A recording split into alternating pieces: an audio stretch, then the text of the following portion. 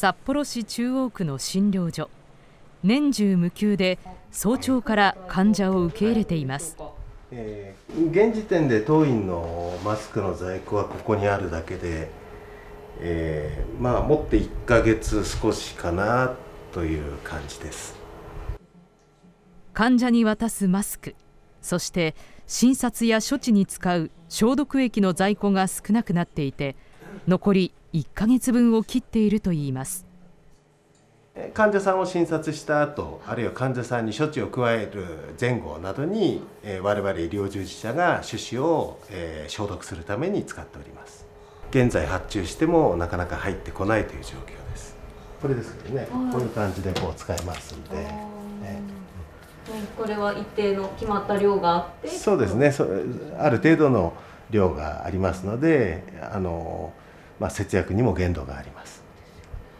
我々が採血とかですね点滴の際に使うこういったアルコールの面ですとかあとひょっとすると手袋だとかですねそういったものも、えー、入荷が難しくなってくる可能性があります。在庫が届かないものがなくなってしまったらどうされるんでし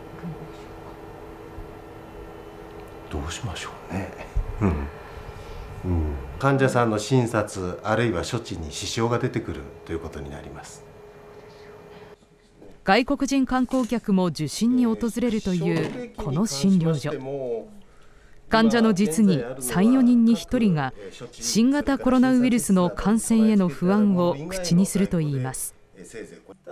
これまで感染が疑われる患者は出ていませんが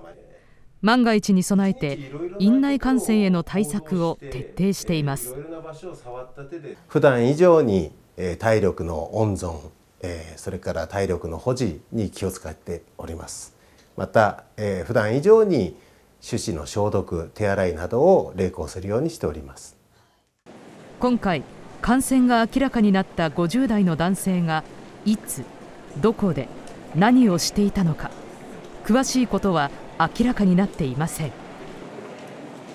怖い怖いですよね。やっぱり。怖いは怖い。どうしていいか分かんないし。これからその宴会だったり人がなんか集まるようなイベントはちょっとって思ってますけど。日常生活の中で私たち一般市民に感染が広がる恐れはあるのでしょうか？咳とか鼻水であるとか、まあ、喋るということでもどうしても、えーと、口とか鼻から水滴が出てきます。その水滴が感染源となる、まあ、大体1メートルから2メートルぐらい否定距離があるというふうに言われています。飛沫を手あるいは不特定多数の方が触れるようなドアノブでありますとか、えー、そういったところそれを触ったところにウイルスがついてそれを自分の鼻とか口に持ってくることによって感染する。これはどんな方でもかかる感染する可能性のあるウイルスと考えていただいて結構です。